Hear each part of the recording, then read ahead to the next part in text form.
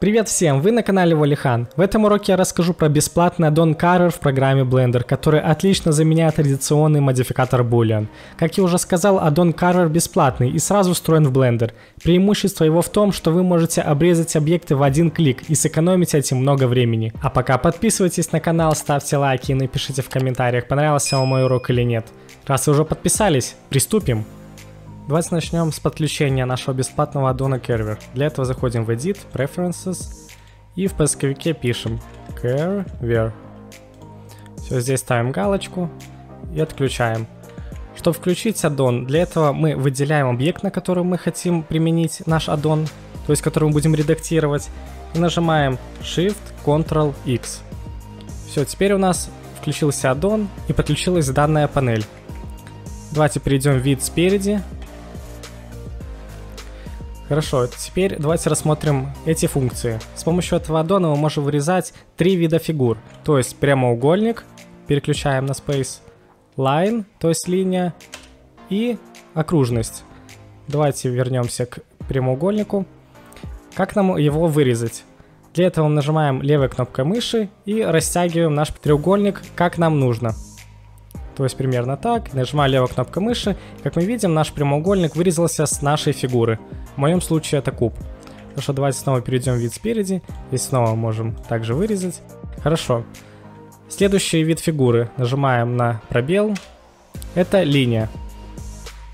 Нажимаем левой кнопкой мыши. Выделяем, что нам нужно вырезать. И нажимаем на Space, то есть на пробел. Давайте снова вырежем и на пробел. Следующий вид фигуры это окружность. Нажимаем на пробел. Нажимаем левой кнопкой мыши. Редактируем размер, как нам нужен. И нажимаем левой кнопкой мыши, чтобы применить.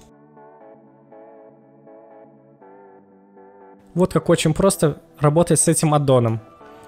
Давайте вернем все обратно. И немножечко поподробнее я вам расскажу об этом аддоне.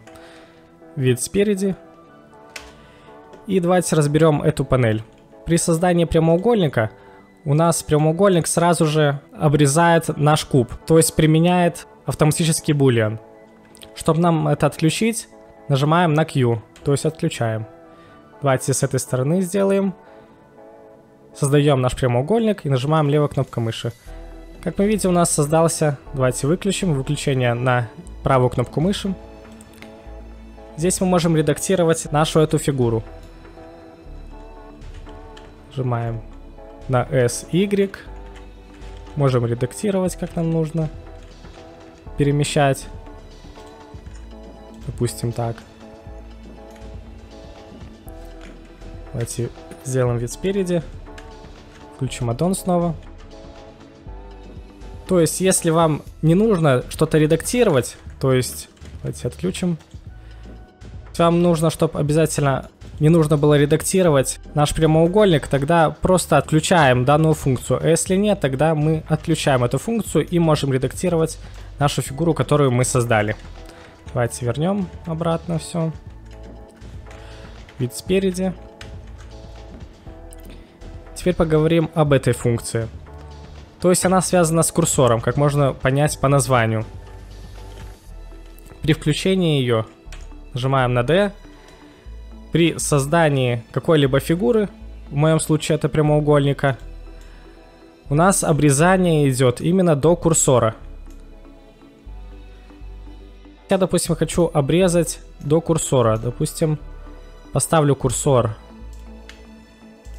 сюда, вид спереди, выделяю наш объект, который хочу подредактировать, Shift-Ctrl-X, включаю аддон и обрезаю. Допустим, здесь обрежу и здесь обрежу. И как видим, у нас обрезалась наша фигура именно до курсора. Давайте вернем обратно. Вид спереди. Нет, точнее, давайте вернем курсор обратно. В середину. Хорошо, выделяем наш куб. Давайте двигаться дальше. При создании линии здесь такие же есть параметры, как и в прошлом примере, то есть как в прямоугольнике. Но при переключении на окружный здесь также появляется subdivisions.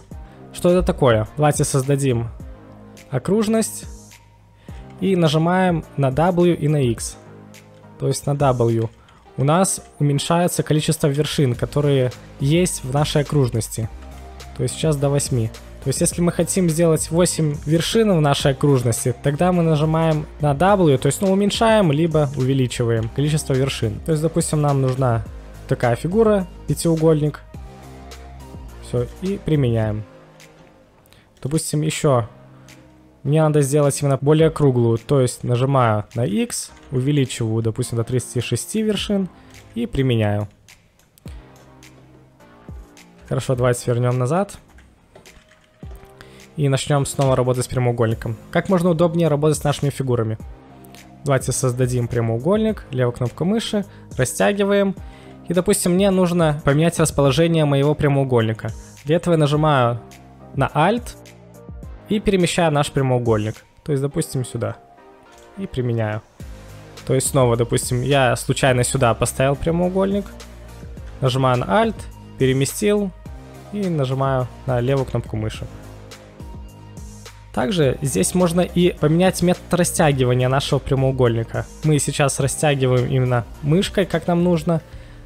Но мы здесь можем и присоединиться, то есть привязаться к нашей сетке. Для этого мы нажимаем на Ctrl и привязываемся к нашей сетке. У нас увеличивается наш прямоугольник именно по сетке. То есть, допустим, так, и оставим. То же самое это действует и на линии. Я создал здесь линию, на Ctrl нажал, подредактировал как мне нужно. Снова здесь нажал левая кнопка мыши. И здесь. Нажимаем на Space. Все так же работает и с окружностью. То есть создал окружность, куда-нибудь переместил на Alt, на Ctrl зажать и подредактировать его. И применяя на левую кнопку мыши.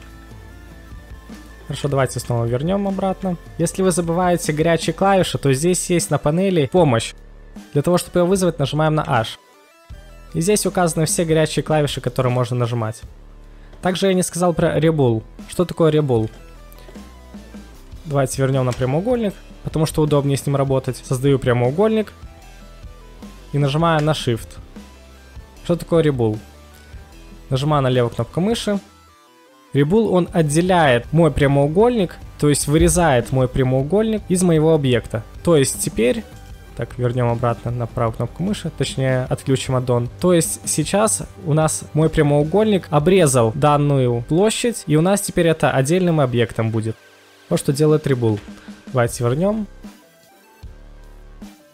Также здесь есть Create Geometry, то есть это мы здесь Difference, то есть мы обрезали объект. Теперь можем создать объект. Переключаем на C. Также можем еще создать.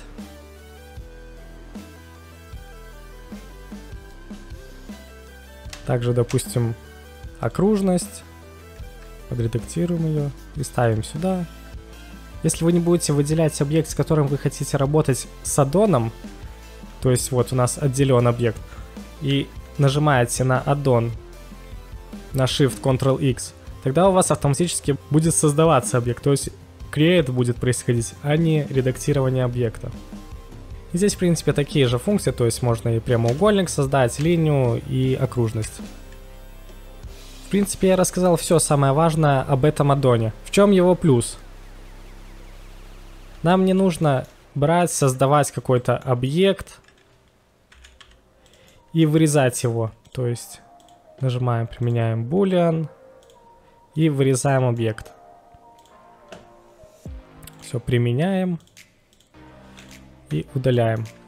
Нам так не надо делать, нам просто надо выделить объект, включаем аддон, выделяем и вырезаем. Если вы хотите потом редактировать ваше обрезание, то есть вы включа выключаете применение и вырезаете. И все, и теперь отключаем аддон и можем редактировать наш объект.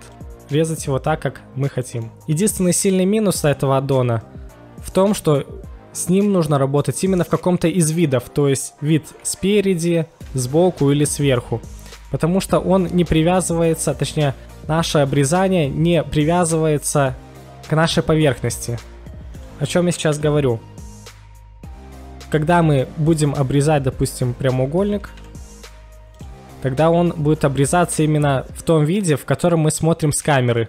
То есть сейчас у нас обрезалось с этой стороны. Здесь так обрезалось. То есть нам нужно работать в каком-то из видов. Это единственный минус, который есть в этом аддоне. Подписывайтесь на канал, ставьте лайки, если вы еще этого не сделали. И не забывайте заходить в мою группу ВК. Спасибо за внимание. Пока.